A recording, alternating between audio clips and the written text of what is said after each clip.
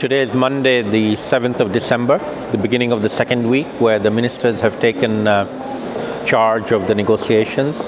The French presidency have given uh, specific responsibility to a number of ministers to do consultations on various topics in different uh, uh areas. Uh, one of our ministers, least developed country ministers from Pa Oosman from the Gambia is one of them.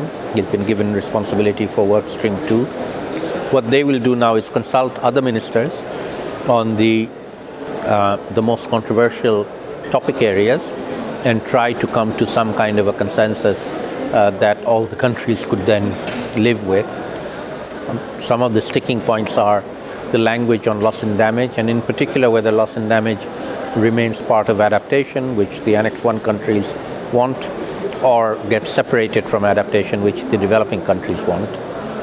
Uh, we are also grappling with language on the long-term goal, which used to be two degrees. Now we have three options, keeping it at three degrees.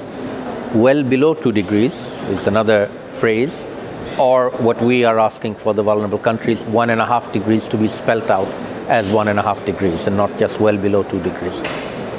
At the moment, we now have 126 countries who are supporting us on the one and a half degrees. It's gone up from 105 countries that we started with at the beginning of Paris.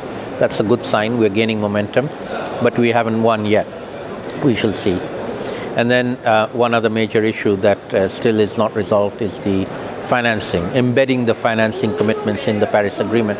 The, the financing agreements are, are done. They, they, the rich countries have promised $100 billion a year from 2020 onwards, but the details were never worked out. How much goes for adaptation, how much for mitigation, how are they going to be delivered, how are they going to be monitored.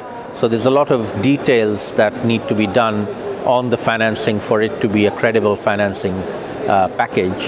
And so that always creates a problem and it's always the last thing to get agreed uh, as uh, the developed countries uh, finally uh, step forward and, and make contributions.